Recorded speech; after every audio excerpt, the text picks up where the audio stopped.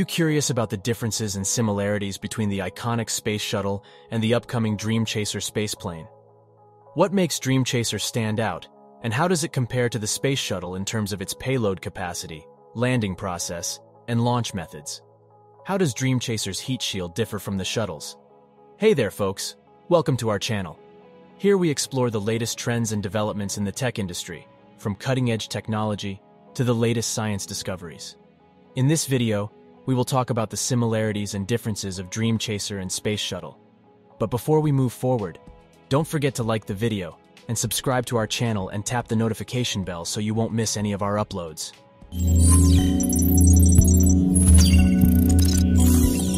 The differences.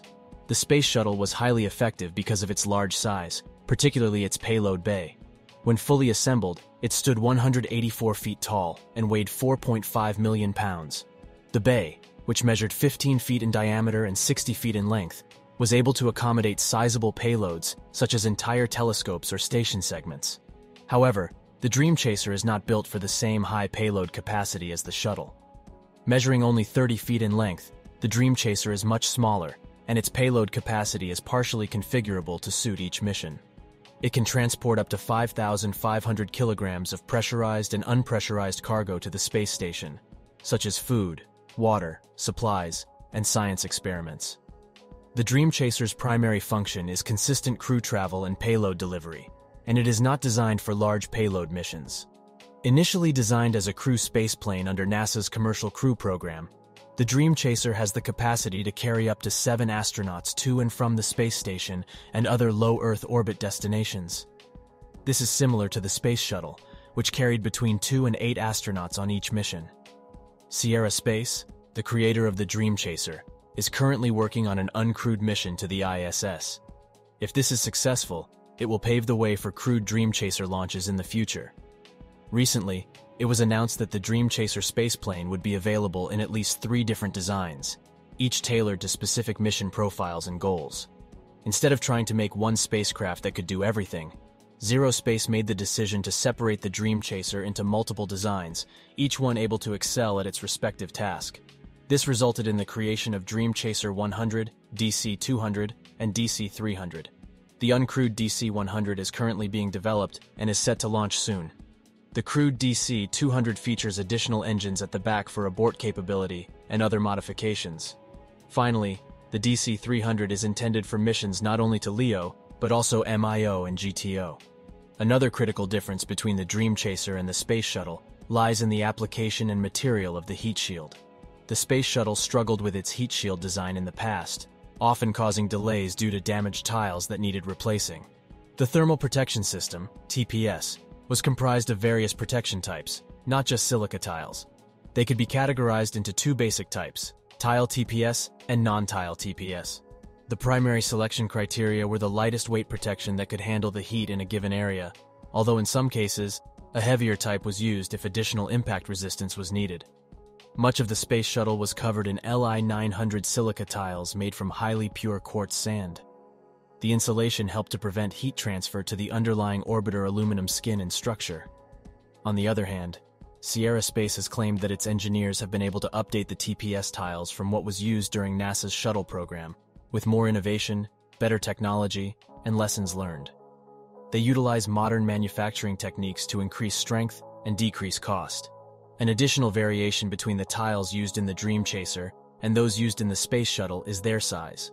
Dream Chaser tiles are roughly 10 inches by 10 inches, whereas Space Shuttle tiles measured 6 inches by 6 inches. Furthermore, Dream Chaser tiles are stronger and lighter than their shuttle counterparts.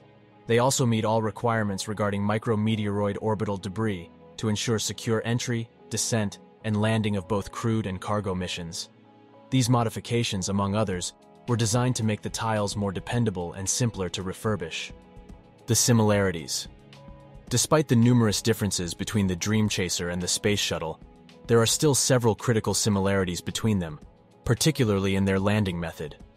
Both spacecraft are capable of making runway landings, and the approach and landing phase of the process starts at an altitude of 3,000 meters, or 10,000 feet, while traveling at 150 meters per second. The orbiter follows a negative 20 degree or negative 18 degree glide slope and descends at roughly 51 meters per second, or 167 feet per second.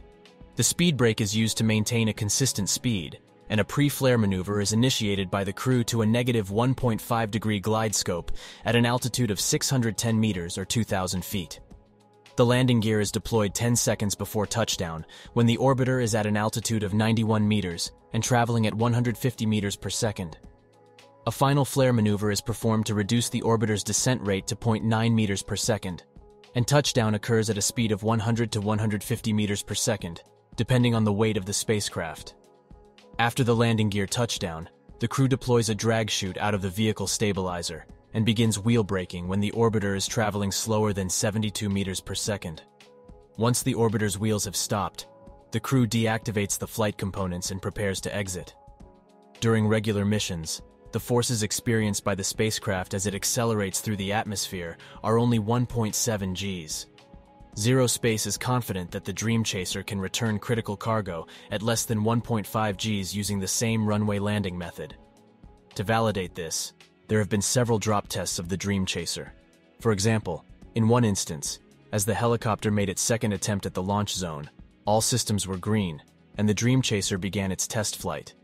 The spacecraft entered a steep 70 degree dive, quickly gaining airspeed to intercept the flight path for its normal Earth return. The Dream Chaser then performed a series of aerodynamic test inputs, designed to produce actual data to validate control system parameters. Finally, the spacecraft deployed its landing gear, flared, and touched down on the Edwards runway. This landing will not only provide the opportunity for reuse, but it also aims to expedite the process of reviewing the spacecraft and preparing it for the next mission. Not only do the Dream Chaser and Space Shuttle share similarities in their landing methods, but they also have similarities in their launch processes. In the case of the Space Shuttle, between T-minus 6.6 seconds and T-minus 3 seconds, while the RS-25 engines were firing but the SRBs were still bolted to the pad, the offset the rest would cause the Space Shuttle to pitch down 650 millimeters or 25.5 inches. The three-second delay allowed the stack to return to nearly vertical before SRB ignition. At T-minus zero, the eight frangible nuts holding the SRBs to the pad were detonated. The final umbilicals were disconnected. The SSMEs were commanded to 100% throttle, and the SRBs were ignited. By T plus 0.23 seconds, the SRBs had built up enough thrust for liftoff to commence and reach maximum chamber pressure by T plus 0.6 seconds. In the case of Dream Chaser, the spacecraft does not provide any thrust and requires a dedicated rocket to get it into orbit. Dream Chaser by itself would not get very far at all. However, once in space, it can maneuver accordingly. The unique aspect of Dream Chaser is that it can fly on any suitable launch vehicle, a rocket that can fit the spacecraft inside the fairing. At its core, Dream Chaser is a multi-mission vehicle, capable of supporting a variety of LEO needs. It can be customized for both domestic and international customers through vehicle configuration, launch site, destination, landing site, duration, and other variables. Sierra Space has already entered into agreements with multiple international space agencies, and they are developing technologies, applications, and missions for Dream Chaser-based space systems. Recently, the first launch of Dream Chaser Tenacity was delayed from the summer of 2023 to no earlier than December 2023. NASA updated its internal schedule to show that Sierra Space's Dream Chaser spacecraft will now berth at the International Space Station late this year. While the delay is not ideal, it is the first launch and is bound to experience some delay. Hopefully, in the coming months, the company will provide more updates and prepare for final testing and preparation.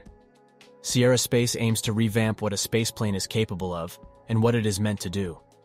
Dream Chaser shares many similarities and differences with the Space Shuttle, all of which are intended to achieve the future goal of the spacecraft. We will have to wait and see how it progresses and what impact it has on the space industry.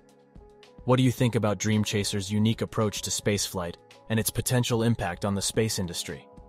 Do you think Dream Chaser will be able to live up to its promises, or will it face unforeseen challenges? Share your thoughts and opinions in the comments below. Thanks for watching. Don't forget to like, subscribe, and hit the notification bell to stay up to date with our latest content. We appreciate your support and look forward to seeing you in the next video.